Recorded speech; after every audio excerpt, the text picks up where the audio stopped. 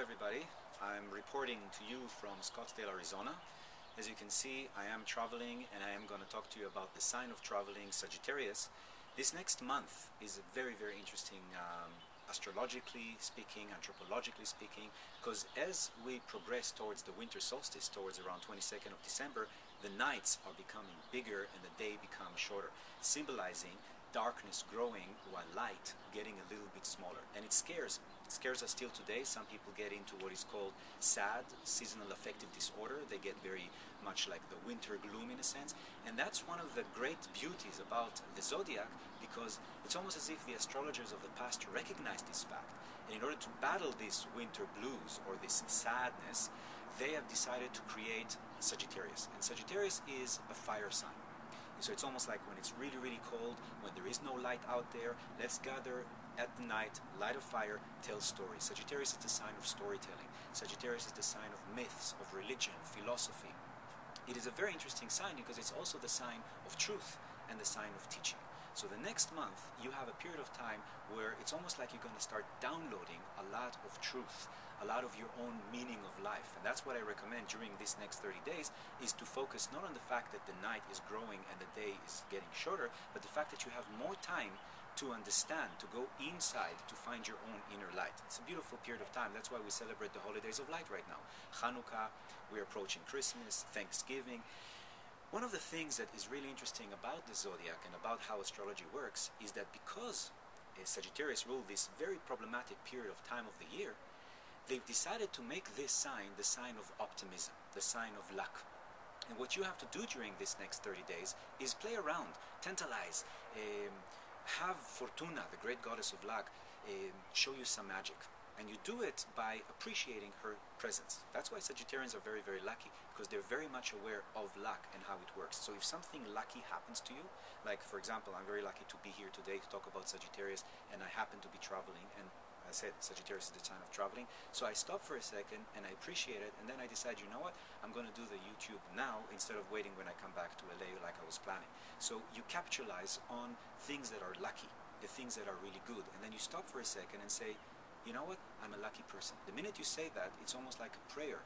You're almost like summoning more luck. Like attract like. Luck attract luck. So in the next man, month, practice it.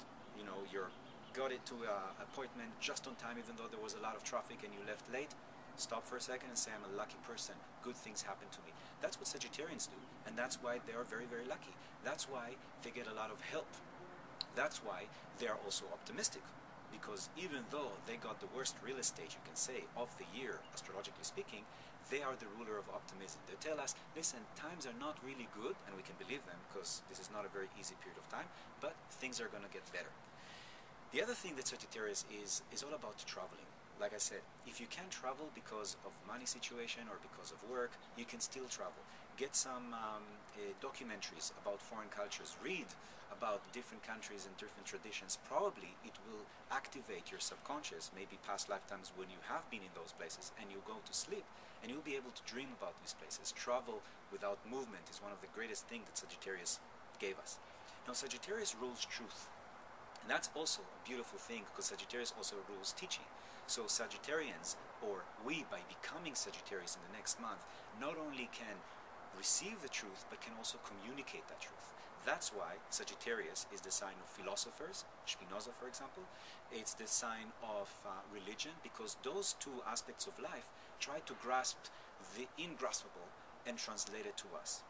Uh, that's why, for example, the symbol of Sagittarius is not only a centaur that shoots towards the target, it shoots to the stars, to things that most signs, most people cannot grasp, they can, and they can translate it. So in the next month, you have the ability to become Sagittarius, and by becoming Sagittarius, you can attract the good qualities of Sagittarians.